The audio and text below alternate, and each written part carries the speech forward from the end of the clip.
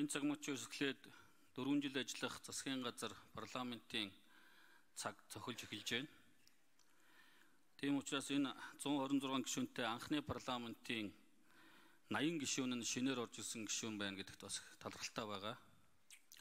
Гэхдээ шинэ орж ирсэн гишүүд маань бас шинхэн дээрээ сонин гэдэг шиг уулыг эргүүлчмээр нураачмаар усыг эргүүлчмээр санагдж байгаа бах.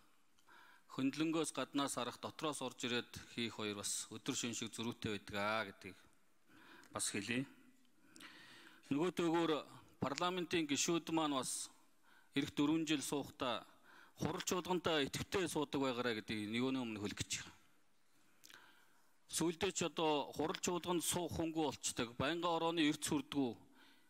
Инээс болоод парламентын нэр хүнд унах асуудлууд урд гарч идэг. Тийм учраас энэ одоо шинээр сонгогдсон гэлтгүү бүх гишүүдийг одоо бас хурал чуулгандаа идэвхтэй суудаг байхыг нэгт уриалж байгаа юм.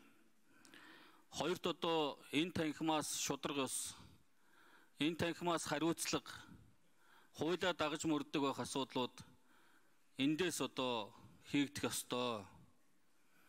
Өнгөрсөн парламент хамгийн олон их хурлын гишүүдийг бүрэн эрхээс нь түтгэлзүүлсэн, хариуцлага оногдуулсан ийм одоо парламент байсан шүү. Тийм учраас энэ хариуцлагын асуудлыг цаашдаа бас Яагаад энэ удаагийн сонгуульд Монгол Ардын намд үнэмлэхүй ялт өгсөний нэг шалтгаан бол өнгөрсөн 4 жил бас хариуцлагын асуудал, авилга хээл ахуултаа тэмцсэн асуудалд бас ахиц зөөршил гарсанд бас сонгуулийн ялтын тодорхой хувь нэмэр байгаа гэж хувьдаа өрж байгаа. Тийм учраас цаашдаа энэ ажлаа үргэлжлүүлээсэй гэж Монголын ард түмэн хүсэж байгаа учраас ийм сонголтыг хийсэн гэж ингэж ойлгож байгаа. Тийм учраас гişүүддээ бас цаашдаа ёс зүйтэй байхыг, хариуцлагатай байхыг бас өрөөлж байна. Нөгөө талаар цаашдаа 2 3 зүйл дээр бас анхаарч ажилламаар байгаа. Авилгатай тэмцэх ажил дээр за их хурл засгийн газрын гишүүд бол алган дээр тавьсан юм шиг шилэн байдаг.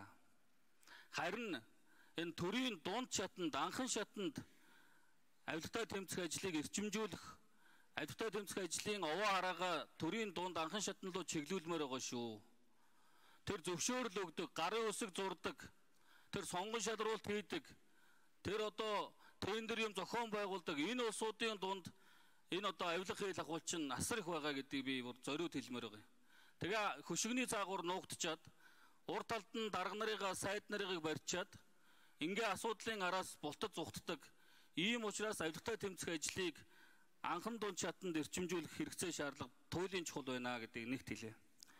Хоёрт Монголын ард түмэн өнөөдөр банкнаас банк нь зөөлөөс зөөлийн хооронд амьдарч байгаа. 17 8 9% хүүтэй ийм зөөлөнд амьдарч байгаа. Тийм учраас банк санхүүгийн салбарт энэ одоо өрсөлдөөнийг бий болгох санхүүгийн чадвартай банкыг оруулж ирэх энэ асуудал дээр онцгой ахиц гаргамаар байна. Банкны зээлийн хүүг бууруулах асуудал дээр онцгой анхаарал хандуулж